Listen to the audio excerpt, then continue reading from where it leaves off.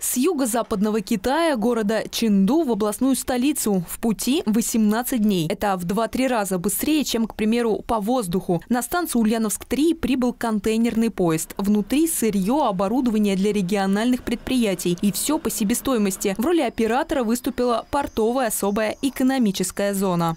Сейчас у нас определена средняя там, стоимость доставки груза. Это порядка 8 тысяч долларов.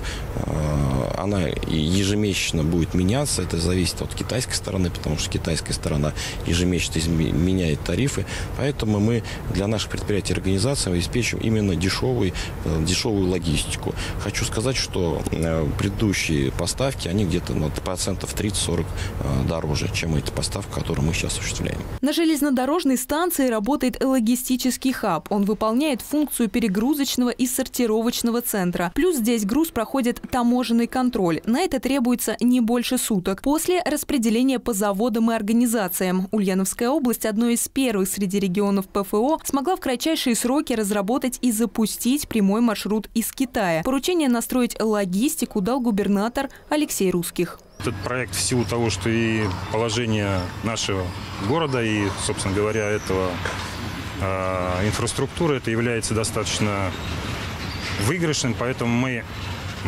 разгружаем прежде всего э, логистические мощности центра нашей э, России.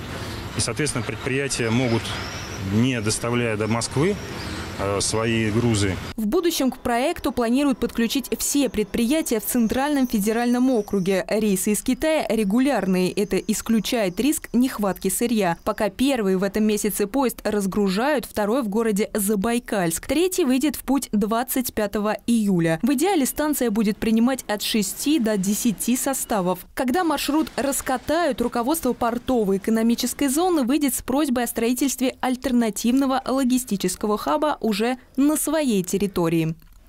Александра Никитина, Юрий Конихин, Управда ТВ.